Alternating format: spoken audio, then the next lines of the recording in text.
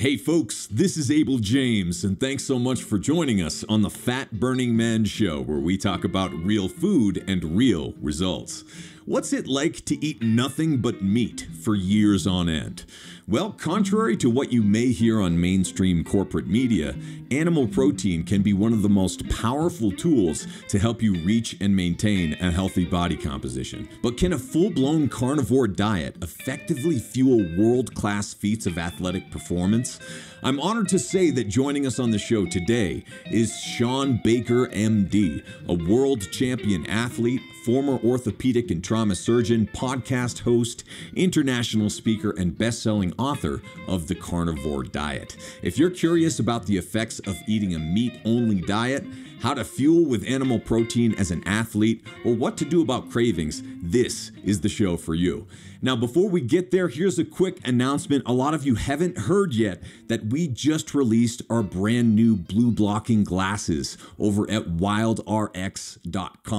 So, these WildRx blue blockers come in daytime and nighttime varieties. And for most people, the yellow daytime lenses are going to be exactly what you need for mitigating the harmful effects of a lot of the artificial blue light during the working hours of the day and even the beginning of the evening. I tend to use them around sundown. We're also really excited that we just added prescription lenses options over at wildrx.com. Right now, to launch, we're only in the United States. Hopefully, we'll be expanding down the road. And also, since you're a loyal listener of the Fat Burning Man Show and you'll be one of the first people to get in there and try the WildRx blue blocking glasses, here's a promo code for 10% off your entire order. All you have to do is go to wildrx.com and use the promo code UROCK. That's Y O U R O C K, all one word, and you'll get 10 10% off your order. So thanks so much for checking that out. And then, real quickly, we also have wildsuperfoods.com. If you'd like to support this show,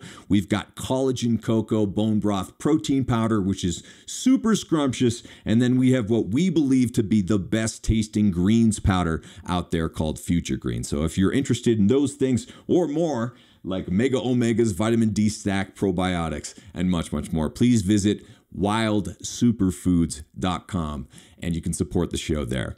All right, one more quick note before we get to this show. It's been about 10 years, believe it or not, of doing this podcast and, and having the blog, audio shows, video shows, interviews on other shows, and all sorts of things. And my wife, Allison, and I are finally ready for a little vacation, a little bit of break. So we'll be taking a couple of months off this summer, but never fear, we will be back. In fact, we've already recorded new episodes of this podcast and show that'll be coming out in the new season in just a few months about EMF pollution and how to mitigate that in your own life, as well as ketogenic dieting and the specifics of that for long term purposes, and much, much more. So be sure to subscribe to this show and stay tuned for more and more episodes. In the meantime, we'll be living out of the RV and traveling around, hopefully, even seeing some of you in person. We'll also be creating a heck of a lot more music videos as well as virtual reality tours. If you're interested in any of that, then please check out abeljames.com. A B E L James.com. All right, enough rambling. Here is the show with the one and only Dr. Shawn Baker. We're chatting about surprising results from giving up carbage and going full blown carnivore, how to fuel with animal protein, problems with a processed plant based diet how a jujitsu class can help put things into perspective, what to do about cravings, adjusting a meat based diet for athletes, how physical strength helps you stay mentally strong, and tons more. Let's go hang out with Dr. Baker.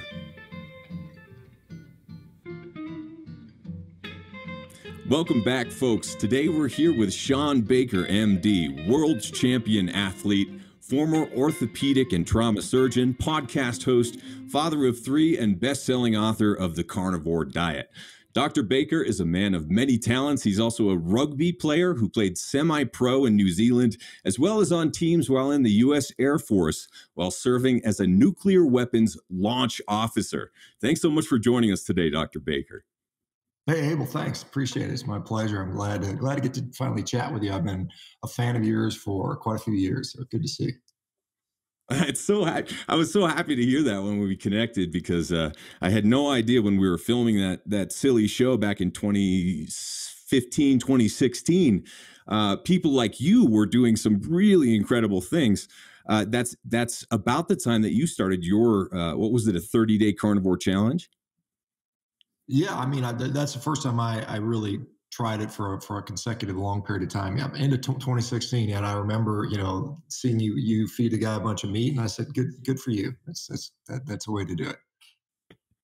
So it's been uh, more than a minute since then right? Like we've we've there's a difference between doing something nutritionally or, or, with your diet for a few weeks or a few months compared to now it's been what like six years. So uh, so catch us up. Maybe start us at the beginning for the people who aren't familiar with your work although thankfully a lot of people are now. Uh, but catch us up. How, how's it going now? Well, I mean, you know, I'm now about six years since I started sort of a carnivore sort of diet. I mean, prior to that, you know, I think eh, so. I'm 55 now, so I think in my early 40s, I started to kind of, you know, just get what everybody gets. You know, you start getting fat, you start getting older, you start feeling like garbage, you start developing metabolic syndrome. It's so common. Uh, you know, not everybody gets that, but it's so common now. Essentially, everyone gets that. And so I was determined that that wasn't going to happen to me. So I really focused on nutrition. I was I already had the, the, the exercise part. In fact, I was probably exercising harder than 99% of the people on earth, still competing as an athlete. And despite all that, I mean, the diet, I just couldn't overcome that. You know, you hear you can't outrun a diet. I mean, you can for a period of time, and I did that, but it caught up to me in my, my early 40s. And so I, I, you know, went through this dietary process of, you know, trying different diets and went on various, various ones. The first one I did was what, you know, I thought it was the right thing low fat, you know, high fiber, lean protein. I did lose weight doing that, but I felt miserable. I mean, it was not, it was not sustainable for me. I was a miserable human being. No one, no one liked being around me. Uh, you know, and I, I didn't like running because I was hungry and grouchy all the time.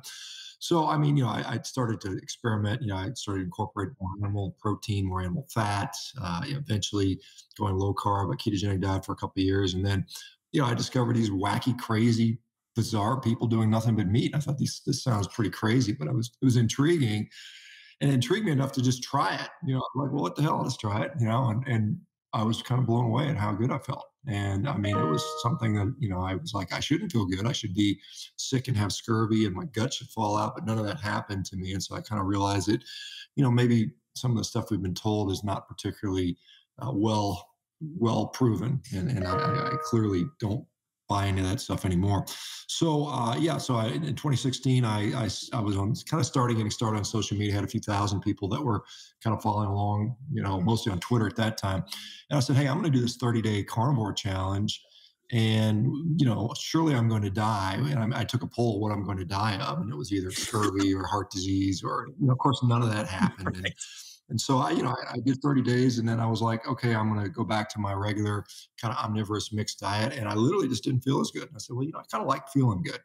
And that was been my kind of rationale for what I do. I like to feel good, perform good, you know, and be healthy. And that's, that's what drives what I, the way I eat and the way I, um, you know, the way I live my life. I'm not in it for any particular dogmatic reason. I'm just like, hey, whatever works well is what I'm going to do.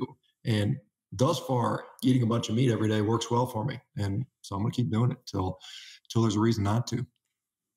And your needs are fundamentally different, or the needs of an athlete who is really lifting some weight, moving some weight around, or doing endurance events and, and, and setting world records. The needs for that sort of an athlete when it comes to eating are completely different. But what's really interesting to me is um, there have been a lot of people really throwing shade at you in particular, but but carnivores in general as well, but definitely you, um, which doesn't totally make sense because it's almost like they throw shade at you saying that you came up with this, you're the only one who's ever done it, and there's no track record of success whatsoever. But if you look at athletic circles, old bodybuilding circles, people have been, you know, chugging milk, eating 36 eggs a day, eating lots of steaks, all these various things that would really offend well meaning nutritionists, the low fat ones anyway. So, why do you think there's such a blowback?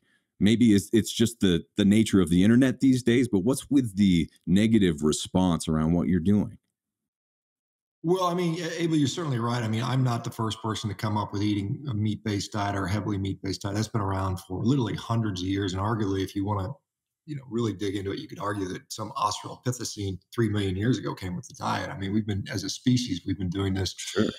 for long, long periods of times in our historical populations, whether it's the Mongolians or the Inuit or you know, the various circumpolar tribes or the Nilotic Africans or the Gauchos from Brazil physicians, you know, going back, you know, to, to Salisbury in the 1800s and one of the Scottish surgeons, I keep forgetting his name from the 1700s and, you know, uh, Blake Donaldson in the 1950s and on and on and on. And so this is, this has just been going on forever. So I certainly didn't do it, but we do live in a time of the internet where everybody, you know, you know, you, you could have you know, 100 years ago, you could have made this earth shattering discovery and people on the other side of the world would not have heard about it. Not today, I mean, literally 15 minutes after you discover something, half the world can find out about it. So, um, you know, I, I had the sort of fortune or misfortune of going on Rogan's podcast. And that, you know, obviously that's a huge exposure to the world. So a lot of people saw this crazy doctor. How dare he be a doctor and promote eating meat? He should know better. Right. Uh, what's wrong with this guy? And so I think yep. I'm kind of the, one of the first physicians in modern times to, to, to, publicly, you know, at least have a big enough platform to, to sort of announce it. So that pisses a lot of people off. And, you know, and I just continue to say, well, these are the results that I'm getting and others are getting. And you can either, uh, you know, disbelieve it or uh, hate on it all you want, but it doesn't change what the results are. And right now, the you know at this point, you know, first no one believed it. Now because now tens and tens of thousands of people have had similar results. Now the argument is, well, we don't know what the long term results are going to be. Well, I'm like, that's that's a pretty weak argument, quite honestly. I mean, I don't know. I mean, hell, uh, you know, any anybody that that that uses that as their their only sort of recourse as to why I shouldn't eat the way I eat or someone else shouldn't do that, they don't have a leg to stand on, right? Honest, because we just don't know. No one knows. And I mean, what they what what I'll say is, you know, you can't do a study that's good enough to show me what diet I should eat for 20 years because it's just unethical and financially impossible, and no one would ever do that study, the actual study. And so they'll say, well, that's a cop out because we can't do the perfect study. Well, I say, well, what I'll say is, I think what would make sense is I can show hard clinical endpoints happening relatively rapidly someone coming off medications for diabetes or hypertension meds or their depression goes away or their psoriasis goes away. That is a hard clinical endpoint that happens in real time that we can assess. And I think that's a valid outcome. You know, whether you telling me I think you're going to die of cancer in 30 years or 20 years, no one knows that stuff. So I mean, until you can, if you can, if you can sort of like refute all these people that are literally getting off their medications and objectively, I mean, it's it's not even subjective. It's completely objectively that they're getting better. They're, they're showing me people with multiple sclerosis. I mean, their plaques are going away. I get people with, uh, you know, diverticulitis. Their diverticula go away. Or I have people with psoriasis clearly going away. What are you supposed to do with those observations? You know, are you supposed to like pretend they don't exist? Well, especially when you look at the trajectory of health and medicine in general. I mean, it's not a pretty picture, and uh, the people who are sometimes attacking you are, are, are doing so as if you're operating in a vacuum and everything else is just chugging along just fine. But that is definitely not the world that we're living in. If you look at most people, they're not athletic, they're sedentary, uh, their bodies are falling apart, they're arthritic early, and all sorts of, of problems. Whereas you're at least offering an alternative to that. And I would think that. Um, anyone who's naturally intellectually curious would would be curious about these alternatives even if we don't know why exactly some of them seem to work so well.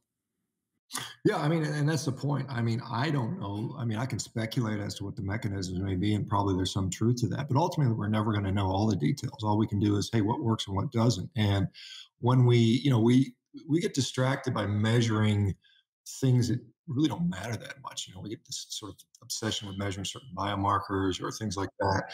And that's, you know, so I'll, I'll use a microbiome, for instance, right now. We, the microbiome is, is, so complex and wildly variable, and no one knows really what the hell it is, even though there's people that pretend they do, but they'll point to it like, we don't think your diet is healthy because the microbiome doesn't result in a certain way. I'm like, well, they're still getting off medications. They're still getting healthier, They're still losing weight how do you sort of use the microbiome to trump something like that? Something you have a very infantile understanding of is now going to say that, uh, that because of that, um, you can't be healthy because you lost weight and got off all your medications and feel the best you felt in 30 years. That doesn't count. So, you know, I, I just, I, am like it's common sense at some point, and people don't want to face up to just like this is obviously someone who's gotten healthier, and you can sort of dismiss that or sort of uh, try and uh, you know justify their results in the light of your your sort of you know particular bias. But ultimately, at the end of the day, I think people are smarter than that. And it's almost like when you look at a meat and water diet, it's it's the ultimate elimination diet that's also somewhat ancestrally informed, at least from a caloric or a macro standpoint. When you look at how much fat you need, how much protein you need, especially uh, if you're looking back in time, hundreds or thousands of years. Giving up meat, like so many people are trying to, or, or you know doing today is something that historically didn't happen quite so often but when you look at elimination diets or at least getting off meds getting off all these bad foods and junk foods there's extraordinary benefit for almost anyone doing it at least for a little while trying to see how they feel uh, and one one thing that's really interesting is that we've we've heard about these sorts of cleanses in the vegan and plant based world for a long time. Uh, people trying to improve their health or lose weight or or what have you for so many day, days, but the meat based phenomenon is a bit new, but maybe you can walk people through what happens to some people when they, when they try this wacky meat thing for just a little while. I've had a few people on my podcast talk about it before. One one in particular ate nothing but really high quality bacon for 30 days straight and his results were extraordinary and baffling and wonderful in so many ways. So anyway, maybe you could just tell a couple of stories about what you've experienced or what you've seen in, in your world. Yeah, well, I mean, just to, to, to couch this in a little bit of perspective, you know, if we look at, um, uh, you know, we have a, a, population of just tremendous amount of chronic disease, and this is a relatively new phenomenon. We didn't, you know, we didn't have a level of heart disease, cancer, obe- certainly obesity, uh, you know, even 50 years ago. And you know, meat has been part of the human diet arguably for three million years, maybe maybe even longer than that, depending on what your thoughts are around a, around how humans evolved. But you know, when you give up that stuff, whether it's going a vegan juice cleanse, I mean, you're gonna, you're, you know, you're giving up a certain amount of just processed garbage, which I think is clearly what's the problem. I mean, food has an impact on disease. I mean, anyone that would dispute that, I think, is is ill-informed. I think it's very clear that food does have a role there. And the question is, well, what food is it? I mean, the easy, I mean, the most common sense thing would be all this ultra processed garbage that we eat. I mean, that, I mean, I don't think anyone would be surprised by that. And yet we have this sort of, you know, almost this religious or political bias into this, you know, particularly against meat. A lot of people just don't like eating meat for ethical reasons more than anything. And there's there's obviously corporate interest that goes into this. I mean, the nutrition science is not a pure science. It's, it's corrupted by religion, by politics, by finance, by corporate interests. So we're not dealing with pure science to start with. And so what we see is, you know, these people that go on a, you know, a meat-based diet, and and it's true. I mean, you eliminate a whole bunch of junk food. You're eliminating all the Doritos and Oreos and ice cream and cake, and yeah, most people are going to get better on that. And a lot of people make that argument. Well, you're just cutting out junk food. Well, there's yeah, there's certain some validity to that, but you got to eat something. I mean, you can't, you know, you you can't just live on air. You can't be a breatharian. And so the question is, is meat inherently bad for us? Well, if you look at some of the epidemiologic studies, you know, they'll sort of suggest that yeah, there's a slightly higher rate of this Uh, you know, cancer or, or, cardiovascular disease or kidney failure, diabetes in these populations. But they're looking at standard American diet, which is honestly not much meat. I mean, it's like 2.4 ounces of red meat. You know, beef is what the average American eat, which is a tiny, tiny amount, and about 60 to 70 percent. Of the rest of it is this ultra processed garbage. And so, you know, so what happens when you I mean, the best way to test, you know, whether meat is a problem or not is not to add it to a junk food diet. It's to just, you know, completely eliminate, eliminate it and go on a meat only diet. Well, what happens? Well, people get healthier. I mean, so then how, therefore, how is meat bad for us? If that's the only thing I ate, you know, I got healthier. Um, but what, you know, we typically see is people, you know, depending on what their background is, if they have, uh, you know, a lot of weight to lose or if they're on a lot of medications. I mean, this is something that, you know, I just tell people to be cautious because for instance, diabetics will often no longer require diabetic medications. And so if they continue to take it, they could end up with hypoglycemia. Hypertensives often will come off uh, blood pressure meds because their blood pressure will fall into normal range. And so continuing on those blood pressure medications may precipitate, uh, you know, a low blood pressure episode, which can be problematic.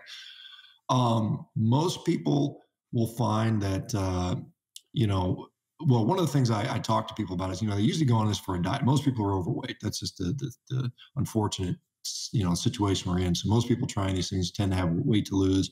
And what they initially do is like, well, I'm going on a diet, so I know I'm not supposed to eat very much. So I'm gonna, I'm gonna, I'm gonna purposely restrict how much calories I eat.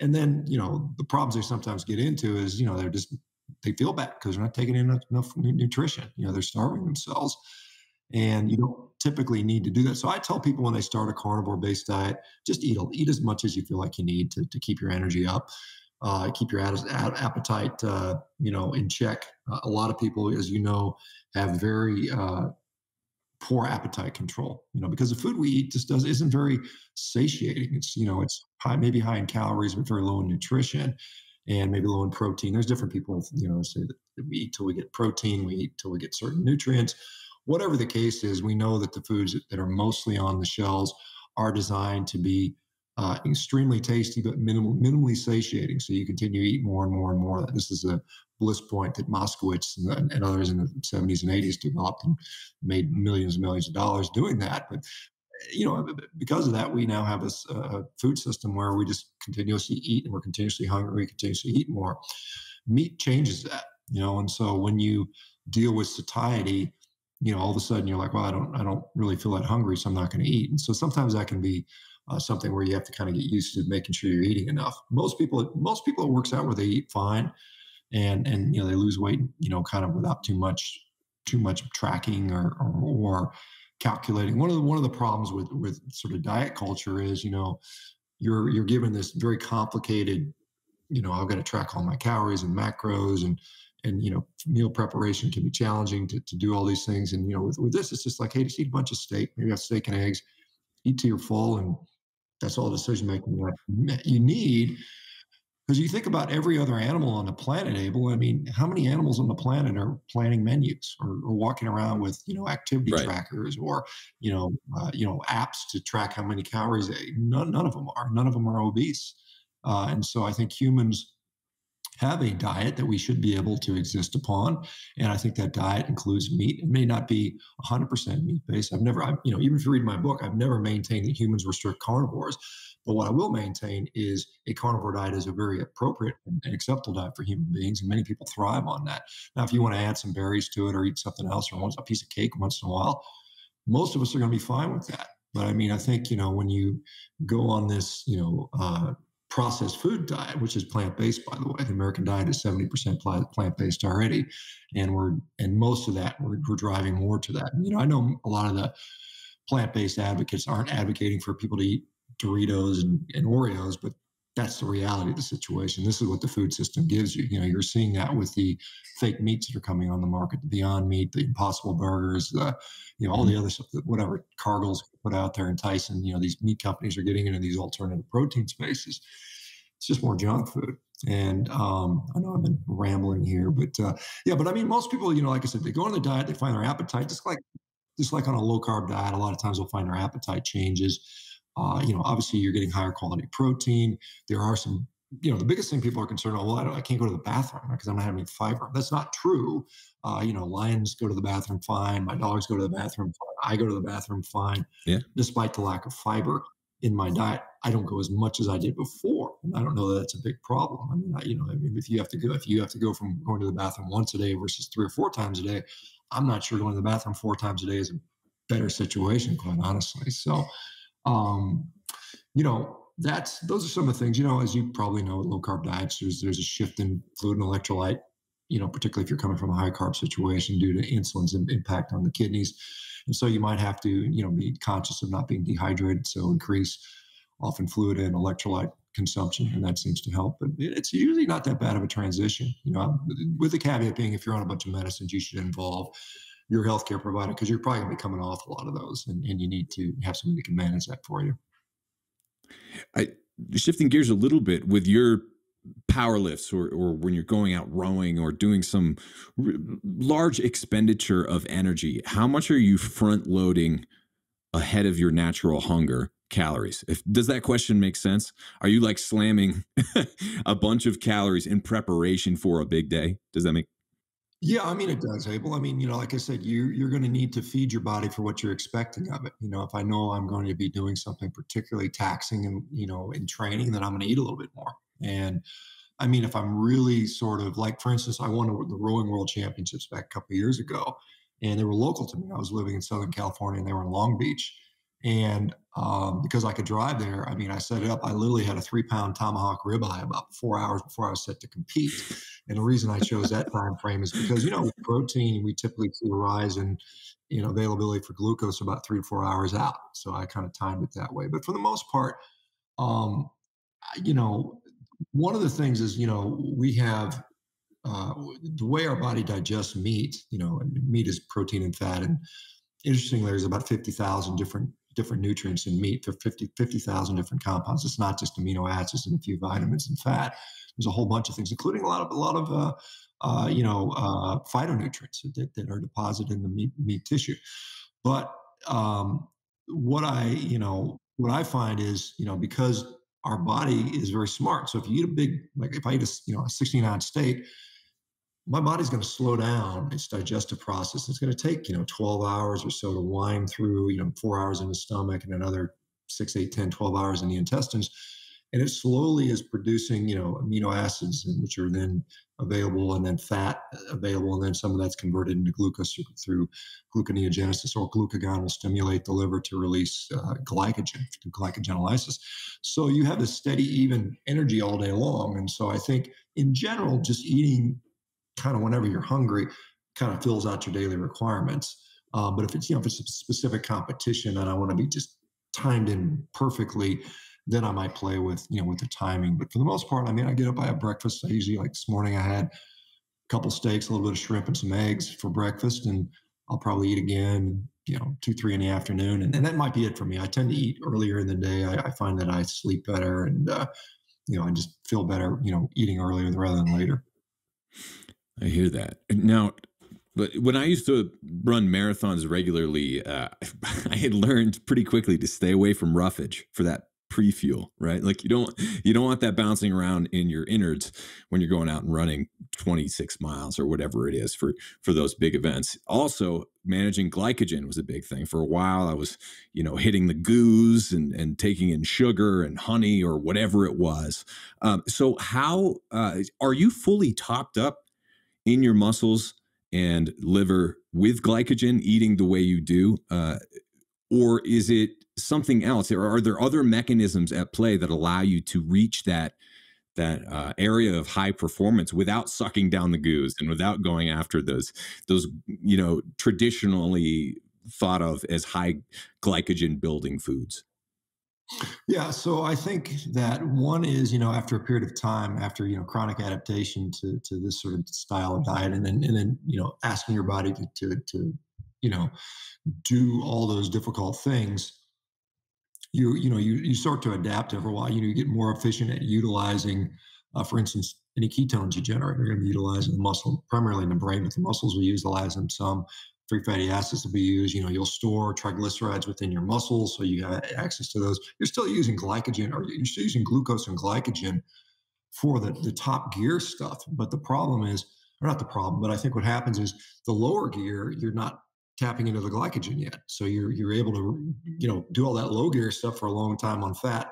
And then when you need glycogen or glucose, you don't need, you're not going to need as much. You're not going to burn through as much uh, because you've run on fat for so long for that percentage of the uh, uh, you know the, the, the event. Now I do very high intense, you know, very glucose dominant exercise. You know, rowing world setting world records on a rowing machine in sprints, your 500 meter row in a concept two. You know, one 14 at 50 years of age. That's a world class number. I mean, there's, I mean that, that's that's top of the world. I did that purely on meats, and uh, so yes, you can do that. Yes, you can adapt. Most people that try this for a short period of time will struggle early because it, it, there is a three month, six months, maybe even a year to adapt fully. And most people don't want, to, you know, a lot of people don't want to do that. They don't want to spend the time. I'm a 50 year old guy. I got no money riding on it. I got time. I mean, the reasons I do it are because I feel better. I recover better. I don't feel as beat up. I don't feel as inflamed. And, you know, you know, day in and day out feeling good allows me to train on, on a frequent basis and train at high intensity. And that results in good results over time. Whereas if I'm eating a carb based diet, I'm, I just get more inflamed. I just don't feel my knee hurts more, my back hurts more, and I don't want to train as much. And if I don't want to train as much, then my results aren't as good. So this may be something that older guys need to do, and younger guys can continue to. Like when I was a younger guy, I was eating everything. I mean, I was you know, I was 280, 300 pounds, powerlifting, eating the house and you know, the other thing is carbohydrates stimulate your appetite, and this is where a lot of people that they you know they talk about muscle building. Well, it, it requires calories. You got to eat a lot. You know, these big guys, these big bodybuilders and power lifters, and you know, strongmen, they got to eat all the time. They're putting in seven, eight, nine, ten thousand calories a day. It's hard to do that on meat. It really is. I mean, I can, I, you know, I can five or six pounds of meat is, is a big day for me, and that's that's only going to be five or six thousand calories. And if you want to eat eight thousand or nine thousand you're probably going to need some carbs. We know that carbs will blunt some of the satiety hormones like CCK, you know, peptide YY, and GLP-1. So if we see that you know those responses being shut down by carbs, allows you to eat more, and and that can be a good thing if you're trying to put on muscle and size. But again, you know, ultimately that kind of catches up to people, and they caught up with me. I mean, I was you know I walked around at 285 pounds for 20 years, and while I was strong, you know, it probably gave me metabolic syndrome quite honestly, I had to reverse that. So thankfully, I've been able to do that. Yeah. So I am curious because I, I haven't done a long term meat based diet, at least yet. But uh, so most people are trying to hit the brakes on their hunger at every meal or all the time. Um, how often are you hitting the brakes or, you know, overcompensating for a lack of hunger? How does, how does that calculus change? Well, I mean, at this point, I, I don't really have a lot of hunger at all. I mean, it's it's very minimal. You know, it's it's not like yeah. the the quote unquote hangry where you're just starving. and You want to eat the next, you know, anything they put in front of you, you're going to eat. I'm, I'm, you know, pretty much at a point where I know generally how much food I need for the activities I'm I'm, I'm going to be doing, and so it's become very just I just kind of eat about the same amount most days. And if, like like we mentioned, if I know I've got a particularly challenging day, I might throw an extra meal in there. Like I said, usually I'm two meals a day. But like I said, if I work really, really, really hard, or you know, I've got a jujitsu session at night that I I got to get up for. I mean, I'll eat an, an extra meal in there. Um, so I don't, you know, I don't have difficulty managing hunger. Every once in a while, I'll be hungry, uh, but it's it's pretty infrequent, you know, and and so you know, I've, I've gotten the kind of creature I have, like my dogs. I mean, my dogs get fed once a day, and they know when it's when it's mealtime, they're ready and they eat and they're fine, and the rest of the day they're good. They they eat they're eating a 100% meat based diet, and I mean, you know, I don't want to compare myself to a dumb animal, but kind of we are, and so it's kind of like, you know, you kind of get used to bags too. When, when the nutrition is so, you know, when the nutrition is such high quality, and and it is. I mean, I, I would argue all day long that you know meat based nutrition is, is incredibly high quality um, it's pretty easy to, to be satisfied and be satiated and to be nutritionally, um, you know, in a place where you're not, you know, like if you eat, if you eat this varied diet, well, some days you're, you, maybe you miss out on protein or you miss out on a particular, uh, you know, uh, nutrient that, that, you know, you, you may not get. And, and so you're, you're, you're hungry, you're looking for it more and you go on and overeat often. And I, I don't tend to do that.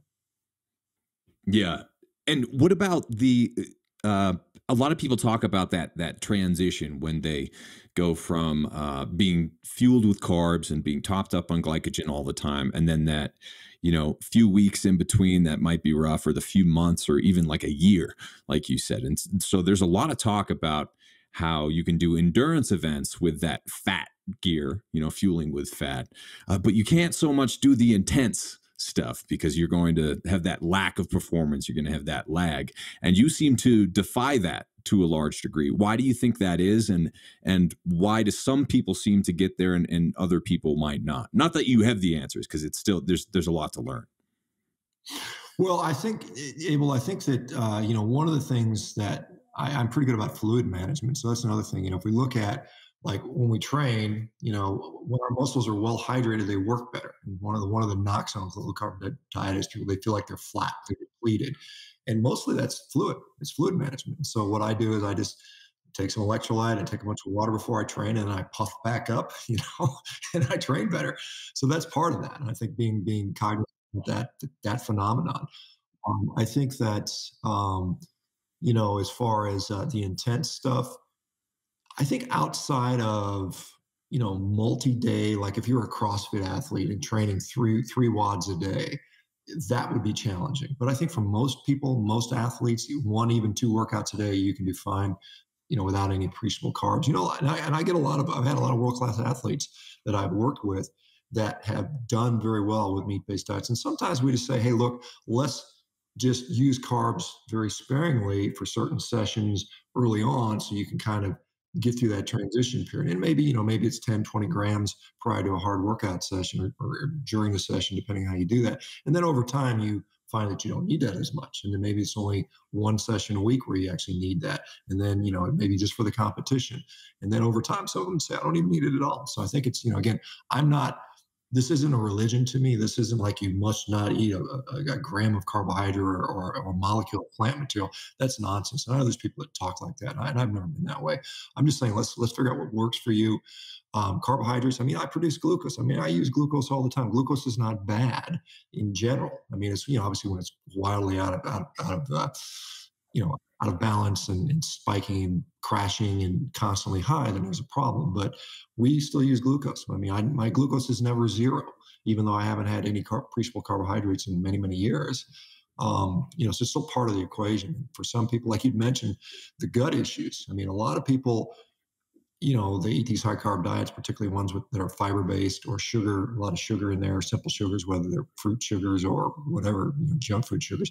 A lot of people have gut disturbances, and, and that's something that, that is pretty uh, well uh, taken care of with a meat based diet. I mean, I literally, like, like I said, I, I, I can go, I can go eat a two pound steak and go work out 20 minutes later. I mean, I can do that fine and not, not feel that mm-hmm. heaviness or that bloating or discomfort like I would if I were to eat, you know, whatever a salad or you know oatmeal or something like that. Or, or I know oatmeal is a common. Let's have some oatmeal and blueberries for breakfast, and maybe a glass of orange juice, and then it sits in your stomach like a rock. You know, you can't really. For some people, not everybody. I know for me it does. Yeah, yeah. There's definitely a, a shift that happens in your cravings and such. When you first started were you running into that were you running into cravings and not knowing what to do with them because some people that's another part of the shift that can be difficult is you don't know how to fulfill that perceived need for something, right? That craving. You know, when I started, I didn't really have a, a big issues with cravings. I mean, because I've never been uh, one to sit there. I, I, didn't go into this like I wanted to lose weight, so I was just crushing food. I mean, I, you know, I, I was eating four, yeah. five, six pounds of meat a day.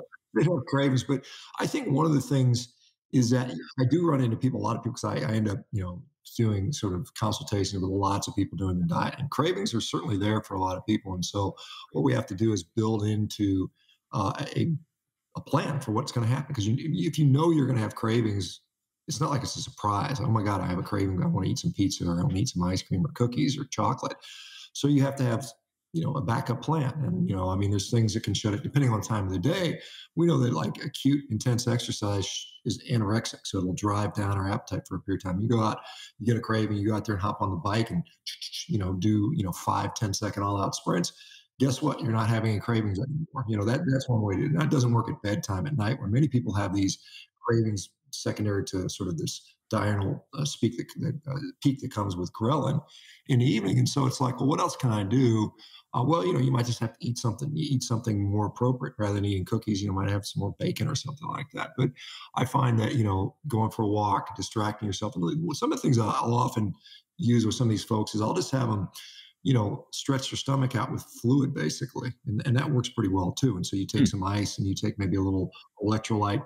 I know there's a company LMNT that we sometimes use, and that makes like a sorbet and just eat a couple big bowls of, you know, flavored ice and that shuts it down. And so there's there's ways to deal with it, but it's just having that plan in place is is is really really uh, an important part of that because it's usually something like most of these cravings will last for 30 minutes 45 minutes and then if you can make it through that then they're gone and you can just kind of get on off the bed go to sleep wake up the next morning ghrelin will will be down you wake up you may not be that hungry so it's just a matter of knowing what's going on and having a backup plan to deal with that but i mean generally if you eat enough throughout the day they're going to be less and less of a less, less and less of an issue for. You. And the longer you go, you know, maybe the first couple weeks is pretty tough, but once you get two three months into it, it's like, ah, I'm fine. I don't need that stuff.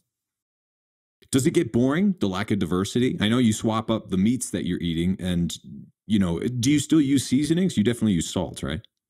Yeah, I mean, salt is is probably ninety five percent of what I do, and you know, um, there are literally I mean, if you want to be rigidly animal based, and I don't, again, I don't know that everybody has to be that way, but I mean, if you wanted to do that, there are there are thousands of ways you can prepare meat and different cuts and different ways to cook it, and you know, you can be in. I mean, there's people that are you know sort of real creative. They'll use eggs and cheese and make chaffles, and I mean, you, know, you can make whatever. You know, I, I honestly don't feel like it. I'm too lazy most of the time. I just give me a damn steak and I'm fine. I mean, I would say for 98 by the time I'm not bored by the diet. Every once in a while, like, ah, you know, maybe I'll make some, you know, a keto ice cream or, or maybe I'll make, uh, uh, you know, a chaffle and make a sandwiches out of it. But I mean, most of the time, not. I mean, it's, it's kind of, it's, I've gotten to where I don't get, um, I don't depend on my diet for entertainment. I have a lot of other things going on in my life, which, which I find to be providing me sort of stimulation, you know, whether it's activity, exercise, traveling, interacting with people. So I don't get my entertainment. I don't use food as a source of entertainment. Now I like it. Don't get me wrong. When I sit down to a nice big juicy ribeye steak that's got this nicely crispy seared fat and some salt on there, I'm salivating. I'm loving every minute of that. It's not like I'm depriving myself and sitting here. It's miserable. And I don't eat stuff I don't like. I mean, that's you know that's the other thing. I'm not sitting there and forcing. A lot of people go on a diet. They're, they're mowing through you know mounds of spinach. They don't really like it, but they're like, well, you know, I got to eat this stuff because you know I'm doing penance. And I, and I, felt that way when I was on a on a uh, you know ketogenic diet. I remember Mark Sisson was talking about these big ass salads the size of your head, and I was eating. I was dutifully eating those things. You know, and I, you know, of course, at that time it was you know throw some eggs and bacon and olive oil and some dried you know a little bit of fruit in there, and you get a bite of that stuff and be good. But the rest of the stuff, the salad was like, oh man, this is awful. I don't do that anymore. I don't eat stuff I don't like. I mean, I, I like steak and eggs. I, you know, like I said, every meal I eat, I like a lot, and that makes it easy. I'm curious. Have you experienced a difference eating like I don't know two dozen eggs a day versus just steaks, or what if someone sits down and eats 3,500 calories of just cream cheese or something like dairy in particular seems to be more problematic for some people than others, right? Yeah, well, I think that um, you know, anytime we process, we we process and concentrate foods, whether it be flour, sugar, you know, cream cheese, heavy cream, butter, and you just live on that stuff. That's not how we're designed as a species. I mean, we're not designed to eat that stuff. I mean, how would you chew something and turn it into a powder? I mean, you just don't. I mean, this is not what we were designed to do, and our and our you know, and our digestive tract is not really set up to handle that. Now, um, yeah, protein powder, you can get a lot of protein in that way, but we're not designed to absorb these sort of, you know, uh, powderized foods. And so it, it changes the way our absorption characteristics go. And so we have differences, different blood glucose responses to powder versus, you know, a steak versus protein powder is going to be a very different response. You know, our incretin hormones, GLP-1 and GIP, and all these other enzymes and hormones that we that are associated with, with uh, digestion are, are designed to be stimulated in a certain sequence and tem- in a certain temporal fashion. When we when we bypass all that stuff, I think we end up with uh, end up with problems with that. So I think it's again, you know, processed food versus whole foods. And so, yeah, dairy can be a problem. I don't like to drink calories. I mean, if I'm trying to gain weight, yeah, that makes sense. Yeah. Maybe, maybe for those people, but again, that's that's the majority. Uh, sorry, that's the minority of the people. You know, when they ask me about what about drinking a bunch of milk, and I'm like, you know, hey, if you're not trying to if you're trying to gain weight, yeah, that can work. But if you're trying to lose weight, drinking calories is just a is just a kind of a bad idea in general. That's yeah, that's great advice. I, I want to ask you about something, you know, pretty much completely unrelated, uh, based on your diverse experience. But uh, there's a lot of talk about fear of, of bombs in general and uh, fear of absolute destruction. And this seems to be something that you've wrestled with in your past in, a, in an extremely unique way. So maybe you can just comment on the atmosphere of fear and how you deal with it and how you approach each day kind of psychologically to stay mentally strong. Well, you know, I mean, we, one of the things I think we have a very high prevalence of anxiety uh, fear. I mean, you know, obviously the culture we're in with you know the, the news cycle sells fear. I mean, that's that's that's that's how they make their living. So you know, you unplug from some of that stuff. Um, I think that nutrition makes a significant role on how calm you are. You know, when again, when your energy is up and down and, and very unpredictable, it's it, you, you, I mean, you just feel the anxiety in your chest. And so I think getting your nutrition, you know, I do things, like I said, I started doing jujitsu, you know, I, I'm taking cold showers, all these things where you're, you know, you're putting yourself in a position like when someone's trying to, you know, when I go to practice, there's people trying to kill me. I mean, literally, you know, that, that's the goal is to strangle somebody till they pass out, and then you could potentially kill them afterwards. So, I mean, I, I know I'm not going to get killed. At the same time, I don't want to get strangled, and so I'm fighting for my life three, or four times a week the rest of the day seems pretty tame in comparison. I mean, you know, bad things happen. Yeah, you know, somebody yelled at you or, you know, you lost some money or something, but no one's trying to kill you right now. And so it's kind of like you put it into perspective. And I think this, um, you know, one, just being healthy, being strong, I think strength is something that's very important. I think, you know, I just feel better about my interaction in the world when I'm stronger. I just, I just, I just go about my life. I feel better. I feel safer. I feel more secure by, by having a little bit more strength than the average person. I am not fearful of really anything um, for the most part. And, and, and, most of the activities I'm going to run into day to day. So I don't have this anxiety. Again, nutrition, calmness, a steady supply of energy. You know, I got a steak, I got a, uh, I got a fridge full of steaks. I'm pretty good, man. I'm like, hey, uh, life is good. I can, I got, I can eat for a while. And you know, it, it, a lot of these things, you know, we, we just have to, you know, you, I'm sure you're with Maslow's hierarchy of needs. I mean, you know, you just making sure you got the basics covered, you know, and, and then, you know, and one of those is nutrition. And I think we fall down on nutrition a lot. And if we aren't nutritionally replete, we're going to have a lot of, a lot of concerns and a lot of anxiety with that. So I think that's what I do. But, you know, I get up in the morning, take a cold shower. I mean, it sucks, right? The first 10 seconds, you're like, this sucks. I hate it.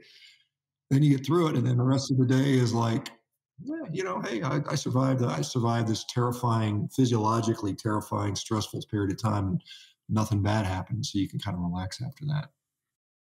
You also watching your videos, they cover uh, uh, so many different topics, and I I love that they do. But so many people are in the group think now and have so much trouble getting in any way outside of that. You know, the cults of ideas or beliefs or uh, personality types or whatever that identity is. Whereas uh, it seems pretty obvious that you don't mind publicly disagreeing with other people, having beefs, showing up, talking to people in person who you disagree with. Maybe you could offer a little bit of advice for some of the people who have discouraged, who have been discouraged from independent thinking, uh, from questioning anything, and from straying from the pack. Yeah. So, I mean, the the problem is, you know, you can sort of believe a certain way and, and, and that can be reinforced all day long you know particularly on social media you know that that's i mean you can always find something that supports your position and we see a lot of that it's always back and forth back and forth aha i got you with this i got you with that and when, but when you go out in the real world and interact with most people, it's not like that. I mean, and I think that's something that if you just talk to the normal average person that you meet on the street, most of them are pretty normal people. You know, I think we like to gravitate towards these sort of uh, fringe type of things, and and you know, and, and, and so we kind of get pulled apart a little bit. But I still think there's a majority of the people are still very much uh, want the same things. I mean, I want to, you know, I want a security, I want a happy family, I want to, you know, be in good health and you know smile and play and laugh and i think all of us want that and so i think if we just kind of bring it back to those very basics and what we what we have in common rather than what we are different I mean, that's a better way to look at it in my view. And and that's you know, like I said, I I much prefer being in real world. Now, again, all of us have a social media presence. That's not going away. You know, I think for the most part, you, you have to sort of be able to navigate that world, but you have to realize for what it is. It's not the real world. It's it's sort of Twitter land or Instagram land or, or whatever YouTube. I mean, none of it's reality, and you just have to sort of use it for I think it'd be done. I think there can be a lot of good. I mean, it's, it certainly it's, it's benefited me in, in, the fact that I can reach people and talk to people and try to get them a message. And you know, at the end of the day, I want to I want to be able to walk to the store and everybody's smiling. You know, I don't see that right now. I mean, I see a lot of people that are suffering, and I think this last couple of years with this pandemic and all the political crap that's going with that has further worsened that situation. So I'd rather you know you be able to go and just you know like, you, you know like you can go to like maybe a, a, little sleepy town in the middle of the country somewhere they don't really pay attention to the news. And it's a very different environment, right? You know, you go up to Montana and people are just hanging out and they're not so stressed out. so I think we have to sort of figure out how to how to how to maybe get back to that. We got just a little time left. Here's a monkey wrench question that I've thought about, especially as it relates to meat based eating. Grid goes down, and you don't know when power's coming back on. Uh, what do you do to feed yourself and your family? Are you are you grilling up forty pounds that day? Do you have some other plan? I, am just personally curious. Well, I mean, you know, I going mean, hunting I, probably, right? I'm not so concerned about. I'm not concerned about that right now. I mean, you know, I I live out kind of in a little bit of a rural area. Um, I we are, you know, I've got a freezer full of meat. I've actually got two freezers full of meat, so I'm good for a while. Uh, I do have to get a generator. That's one thing we just moved into the house. We'll probably put a generator on there. But I mean, I think that, I mean, if you're like a survivalist and you're thinking, well, how can I eat a meat-based diet? I mean, you, you could do it the Native Americans. You just make pemmican. I mean, that works very well. I mean, that that's something that most people don't know this, but pemmican has a has a shelf life of like 10 years. I mean, you make it and sit on, sit on the shelf for 10 years and stay good. So, I mean, there's things you can do. Um, but I mean, you know, there's some people that, that are storing up, you know, they've got, they've got, you know, 55 gallon drums of food, you know, in, in their basement, you know, and I don't know. I, I just, I don't, I'm not so worried about that. I mean, maybe I should be, maybe I'm, maybe I'm overly optimistic, but I, but I think, you know, I think we're going to be, generally okay. I, I, think you know civilization has survived for thousands of years despite wars and despite tragedies and natural disasters, and we always seem to pull through. Uh, so I'm not, I mean, like I said, I'm not, I'm not. That's not on the forefront of my mind right now. I'm, I'm more concerned with uh, getting the people that are there just to take care of themselves, and, and ultimately, and you know, I look out for my kids. I've got, you know, I've got four children that I want their world to be a place where they can still you know feel good and be healthy. Yeah. Right on. So uh, before we go tell folks about where they can find uh, your work dr baker uh, revero and everything else that you're working on. Yeah so i like uh, thanks for bringing up revero. Revero is is you know the company that myself and my, my partner co-founded. It's based on basically reversing disease. I mean, we're we're a medical startup company. We've raised five million dollars here recently, so we're going to be hiring physicians to you know, and their focus is going to be not treating symptoms, but getting you off medications, reversing your disease, and making you actually healthy people, which is where I think our focus in healthcare should be. And it's not because we have a very much a pharmaceutical dependent system, and so we're gonna we're gonna be pushing away from that. So I'm I'm there every day. I do a meeting. I in fact that's where I'm going from here. I'm going to do a meeting with our community, and I'll be interviewing another physician from from the Congo in Africa, interestingly, who's using low carb diets for his patients here. But so I'm there every single day of the week, you know, seven days a week at Revero.com. Uh, of course, I've got social media. So Instagram, I'm at Shawn, S H A W N Baker 1967. Uh, I think on Twitter, I'm S Baker MD. Uh, on YouTube, I'm Shawn Baker MD. And then i am actually on TikTok, which still makes me laugh. And that's Shawn Baker MD as well. And so those are the major, you know, players that I'm on uh, where, where you can find out more. Awesome.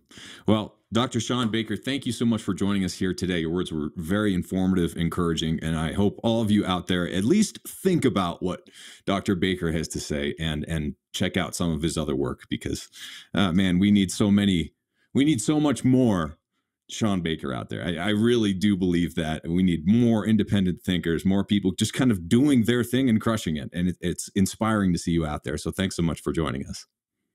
Well, Abel, thanks for uh, introducing me to your to your audience, and I agree. And you keep up doing the good work you're doing. I think, I mean, eventually we're gonna we're gonna make a big enough difference where we can change things. So, thanks so much for having me.